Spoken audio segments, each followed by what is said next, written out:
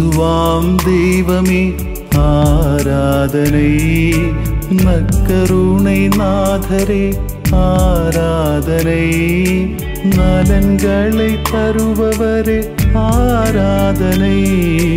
நாவினால் பாடுவேன் ஆராதனை.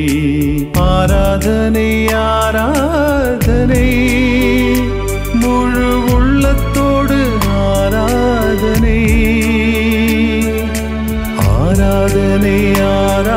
ஆராதனை முழு ஆற்றலோடு ஆராதனை.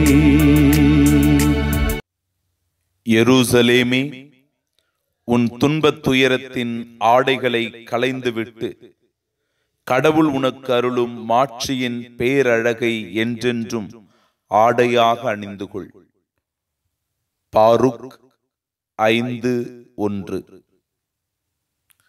மனிதர்களாகிய நாம் துன்பங்களின் நடுவே வாழ்கிறோம். துன்பங்களின்றி நம் வாழ்க்கை கிடையாது.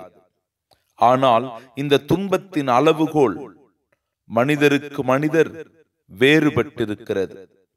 எல்லா துன்பங்களையும் தனி மனிதரால் கலைந்துவிட முடியாது. சில துன்பங்களை தனியாக நாமே நின்று போராடி வெற்றி பெறுகிறோம். இன்னும் சில துன்பங்களை பிறரின் உதவியோடு முறியடிக்கிறோம். இன்னும் பல துன்பங்கள் இருக்கிறது. இவற்றிற்கு இறைவன் மட்டுமே பதில் தர முடியும். இறைவனின் வாழ்வு தரும் வார்த்தைகளை பார்ப்போம்.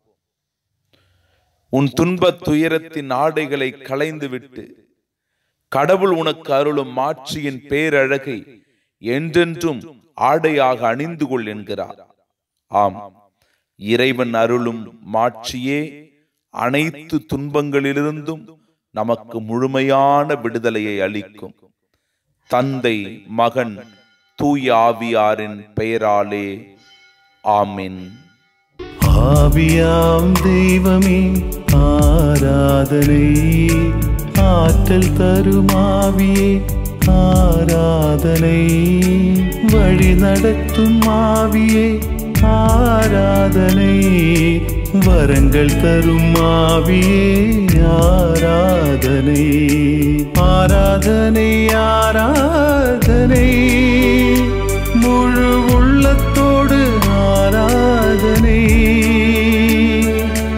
ஆராதனை ஆராதனை. முழு ஆற்றலோடு ஆ